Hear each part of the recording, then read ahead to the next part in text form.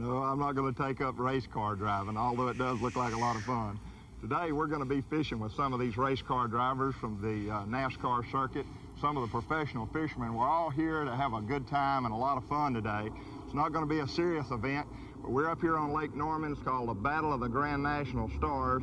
We're going to have a good time and just try and raise some money for the Year Foundation, which is an organization that has just started with the emphasis on grassroots conservation to enhance our fisheries. So you stay with us. We're going to have a good time today. I'm Hank Parker.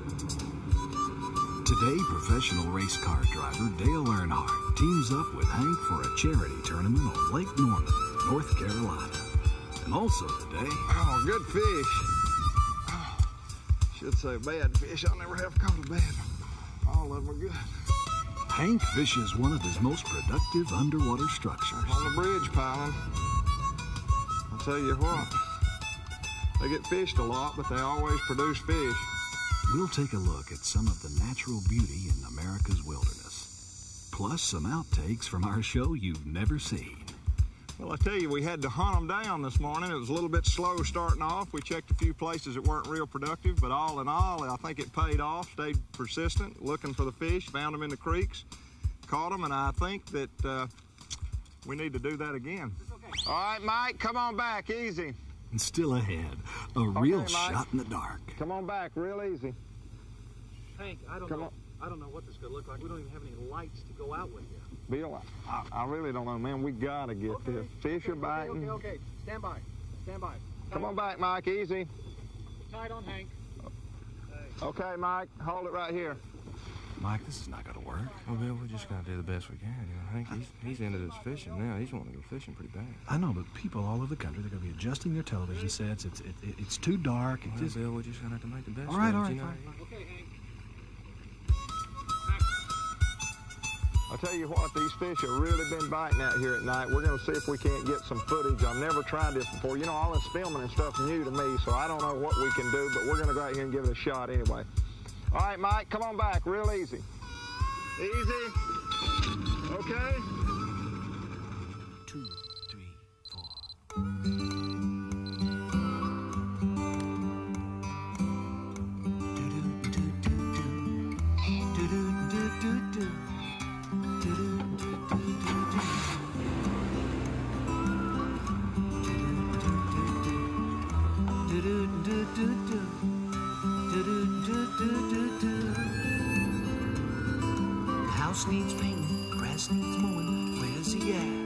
Hi, this is Hank. Sorry I missed your call. Leave me your name and your number, and I'll get back to you. He's gone fishing. Hank Parker's Outdoor Magazine, featuring the only sportsman to ever win the BASS Triple Crown, the Bassmasters Classic, BASS Angler of the Year, and Super Bass 4 talking on this telephone, Angie, but this is your husband. If you remember what I look like, I hadn't been home in so long. But I'm standing on the stage here looking out at about a thousand people at Super Bass, and I just won the tournament.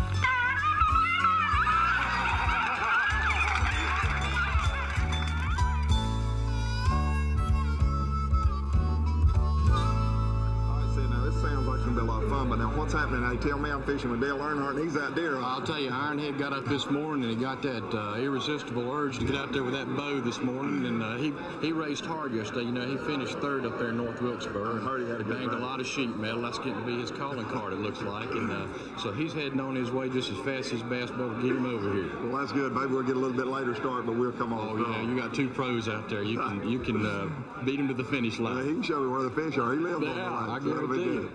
Well, it looks like it's going to be a lot of fun. It sure is exciting. I see a lot of enthusiasm on the part of the drivers, so it looks like it will be a lot of yeah, fun. Yeah, and the sponsors are here, and you know the, we see the helicopters flying out there. It looks like the Indy 500 getting ready to start here, and I guess it is the Indy 500 for bass fishing and NASCAR drivers getting together. And a little bit different, that's for sure.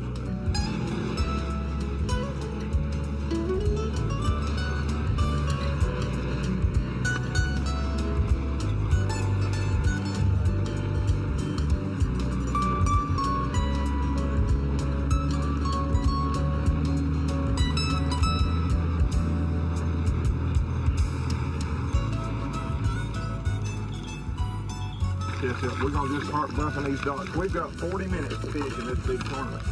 And we're in a hurry. That's sort of like taking off before the jack comes down. Make everybody look good. Throw me a worm back here, Hank. Take it off before the jack comes down. You ever done that? Not really. I've uh, I've had them let it down and I took off without no tires on, without the lugs on, and then what lack, you know, then the lugs come off, the tires come off. All kind of good things happen when you're in a hurry. Tell you what, a 13 minute pit stop to gas up and change four tires, that's pretty tough, isn't it? Yeah, you know that you think about those. 13 You get seconds. excited fishing or deer hunting or anything, you make mistakes. Racing, You guys don't get excited in racing, do you? a lot of a lot of people get excited racing. You know, every time I've I've got excited, I've made made mistakes. Stop thinking, you know. You do that fishing or deer hunting or most anything. I guarantee you. Every time you, the guy can keep his cool the longest is usually the guy that comes out in the end wins. You know, That's exactly the same way in bass fishing. I'll guarantee you that. If you, patience, patience. if you lose a fish or two or make a mistake and you get excited about it and upset and start to hurry and try and make up for it, it'll cost you. But if you can just maintain in the long run, it'll pan out. And that's a guy, like you say, that'll usually end up dominating or winning. You can't hurry a big old bass. You got to take your time with him. I'd like to have the opportunity to try to hurry one right quick. Hurry him on the boat. hurry him up.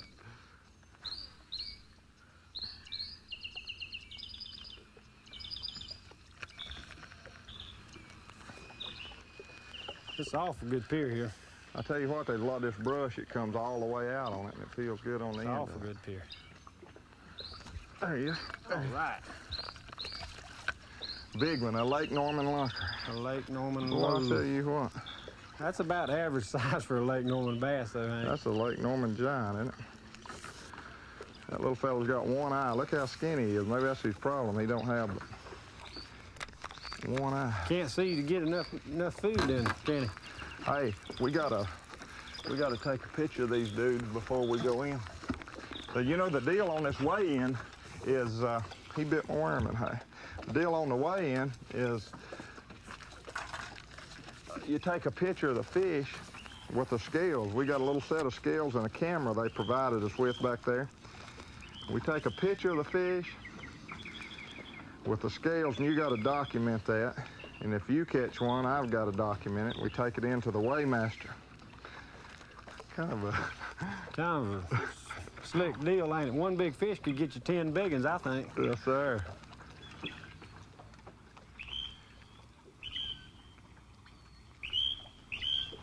That's going. I ain't never fished and never heard of a tournament like that. Have you? No, this is something new. This is for fun. I guess that's why they're doing it, to keep pressure off everybody.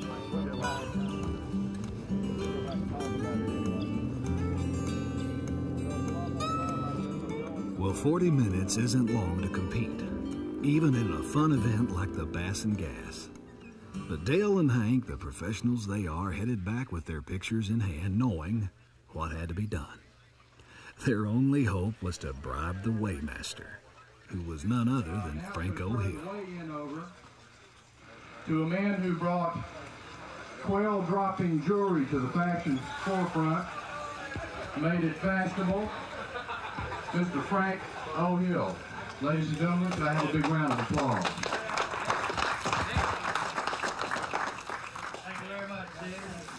What do you think? It don't, it don't look like we got the winner, but let's go up there and find out what the verdict is. We add them up, can't we? I guarantee you. Move back over. Let's see, who's the president? Terry Labonte and Jack Chancellor. Bring your pictures forward, and we'll see how they go and see how they weigh, and we'll see where y'all stand. The first two contestants. How about Dale Earnhardt and Hank Parker? Hank Parker and Dale Earnhardt. Which one of them drives the racing boat? Which of them drives the car? He drives the car. I drive the boat. He drives the car and you drive the boat. We win? I guarantee you, you do that now. I got two of them unless somebody comes up with more than that. You do. Y'all doing good. I'm proud of y'all. I was the only uh, 15, he had 30 inch bass there with the Earnhardt. And uh, no, you didn't use no dynamite. I mean, everything. And if the weight on that and the length of it is really an actual weight. That was Now, 12 wait pounds. The wind was blowing real hard and we couldn't hold him straight and he weighed a little over 12 pounds. It didn't show up like that. All right, that's number two. That's Earnhardt and Parker. Y'all look like y'all done good so far. I believe we got everything we need, man. Y'all take your places in the sun and just wait. We'll get right back to you just a minute, let you know what you with. But I think you done done pretty good.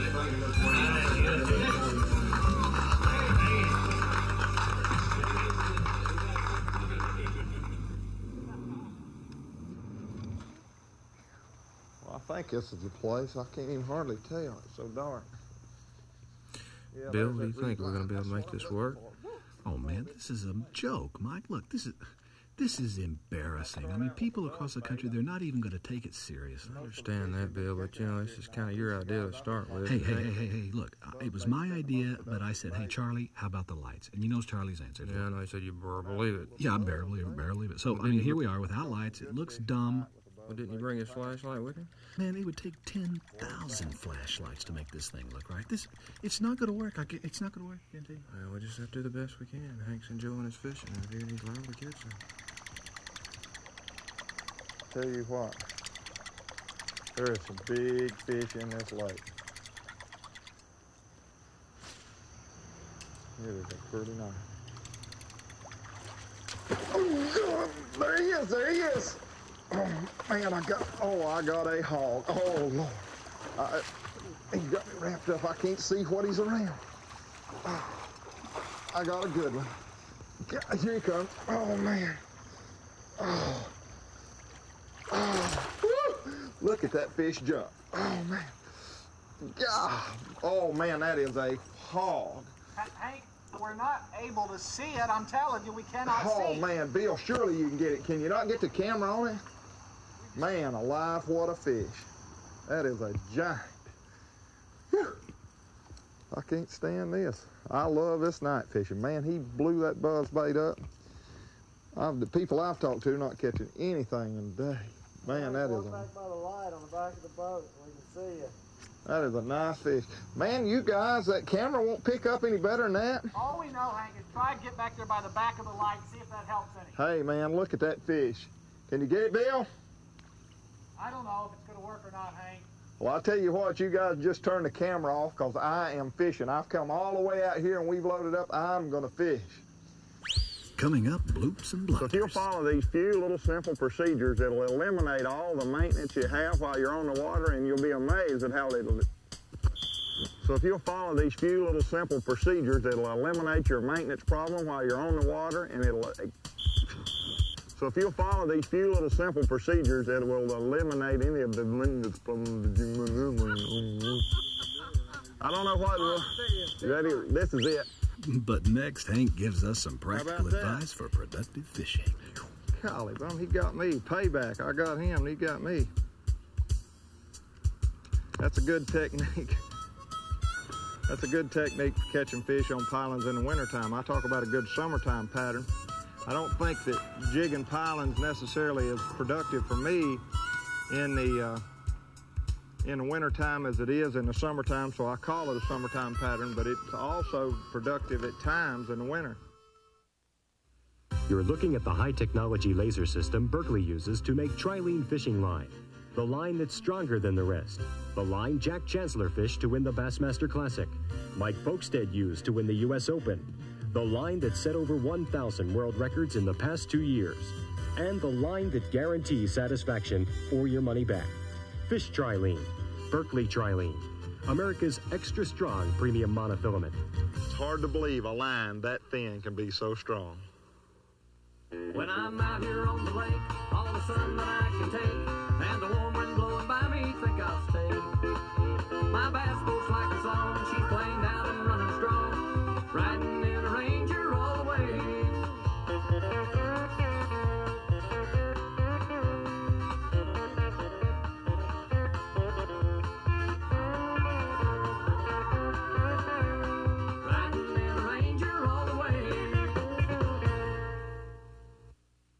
Berkley makes a rod so sensitive you can feel a feather drop on the tip. It's called the Berkley Bionics, biomedically engineered to be the lightest, most sensitive graphite you've ever fished. Berkley scientists have taken you apart muscle by muscle, cast by cast, to build a rod that significantly reduces wrist and forearm fatigue. A 100% high energy graphite that casts like the wind. A rod that makes every strike register as a solid jolt. And a rod that can make you a better fisherman. Berkley Bionics, the best performing graphite rod you've ever fished, or your money back. Why do I use original fish formula? Simple. Fish formula contains an oil base that perfectly duplicates the natural visual discharge given off by shad, crayfish, and most everything game fish feed on. The scent and taste attractors in the formula stay on my lure and live bait longer and at greater depth. Original fish formula absolutely helps me catch more and bigger bass than any other species I fish for. I just don't go fishing without original fish formula.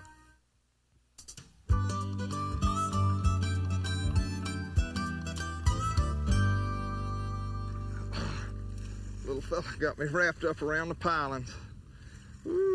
Thought he was a good one. Man, I'm afraid that line, I was lucky to get him. On, boy. Bite my worm. I'll tell you what, the old standby pays off. I very rarely in the summertime go by a bridge without stopping and throwing at the pilings. Can be awful productive. It's a good place to catch a big fish too. I think it's got about everything that a fish would want. It's got shade, usually got depth. Of course, it indicates a channel or there wouldn't be any need to put a bridge there if it wasn't some type of a creek or a river.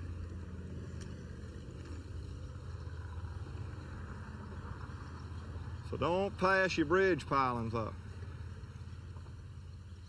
The water we got here is about eight or 10 feet deep.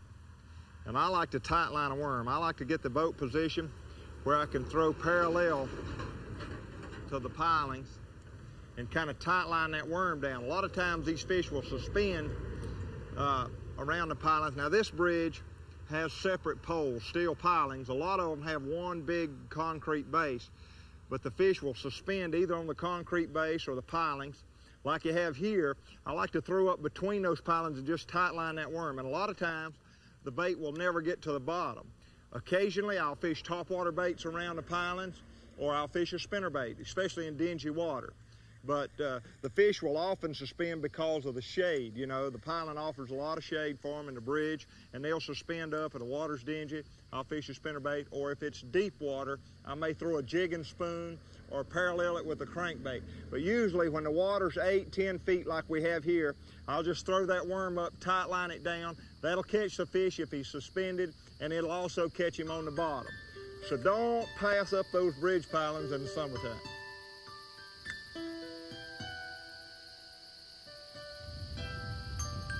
Get in the boat with us, Dustin. Boy, it's pretty. Gorgeous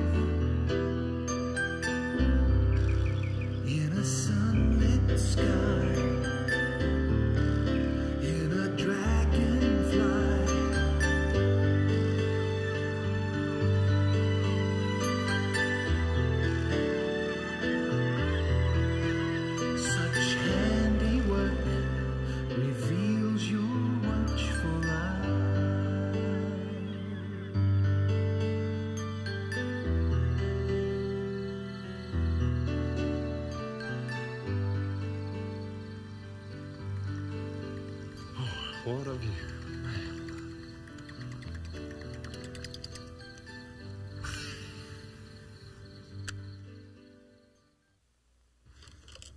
You know, every once in a while there comes a product that has a real practical benefit to the fisherman.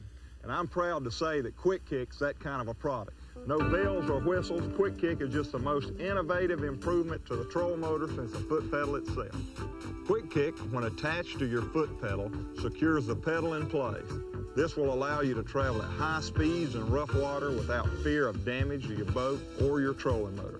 yet at the same time pivot from side to side with just a simple kick of the foot. This will allow you to position your pedal without bending over and using your hands. And best of all, Quick Kick is available for any size troll motor and all types of boats, from aluminum to fiberglass. When ordering, be sure to specify the model of your trolling motor. Call toll free or send $22.95 plus $4 shipping to Hank Parker's Quick Kick, Denver, North Carolina. Quick Kick will give you more time for the important things. Legend has it the color setting new standards for small outboard performance is black. Mercury Phantom Black. Fast, one pole starting. Smooth, fuel efficient power. Super slow, super quiet trolling. Features that make your fishing and boating a fun filled, hassle free experience. Head out with a legend. Head out with Phantom Black. Mercury Outboards. Put the legend behind you. LCR 8000 from Humminbird, the liquid crystal recorder that makes charts obsolete.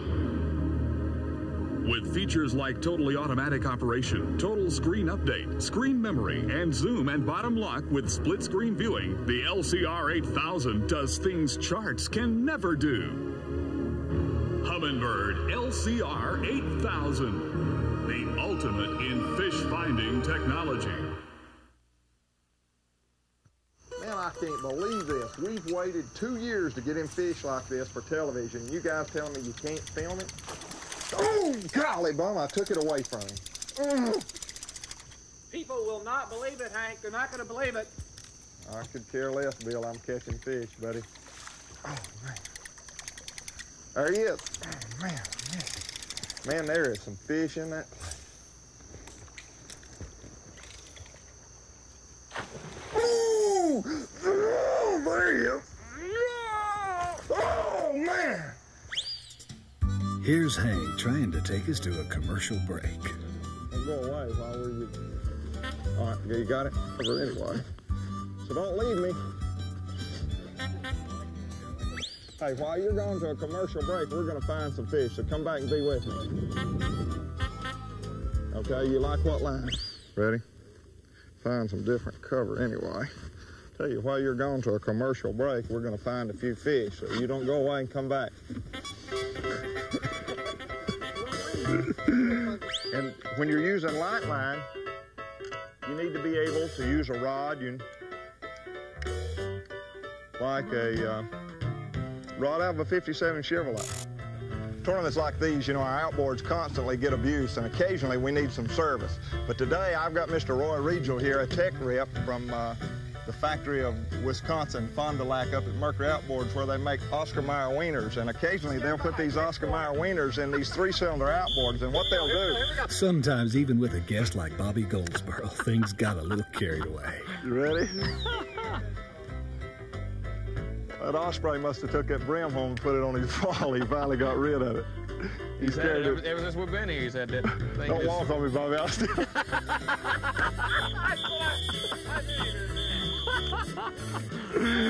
Don't walk on me, Bobby. I was still talking. And when you shave that lip, you start by just taking a little bit off at a time and then cast your bait or stick your bait in the water on your line and just uh, bring the rod tip to you. And when you do that, what you're actually doing is aerating the water, and it'll draw a lot of carp, and the carp will come up the side of the boat, and you can take sugar pops. Kellogg's makes a bait that uh, a lot of people eat for breakfast cereal, but actually it's made for carp fishing.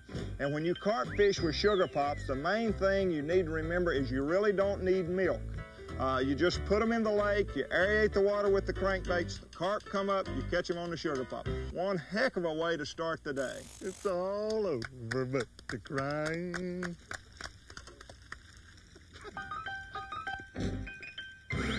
Oh, I'm gifted in a lot of things, they tell me, but singing is not one of them.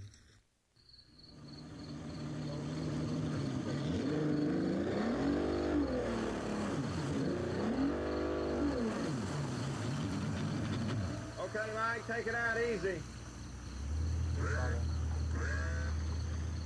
Okay, that's good. Right there, hold it. That's good. Well, I tell you what. Lights, Mike. Leave your light. There you go. Thank you, buddy. Hey, I tell you what, uh, our night fishing segment didn't work out. You would not believe what I caught. Man, it was fabulous, but, you know, I know you're not going to believe all that, but I hope you enjoyed the rest of the show anyway. Thanks for being with me today and tonight. God bless you. I'm Hank Parker. Okay, buddy, we're ready.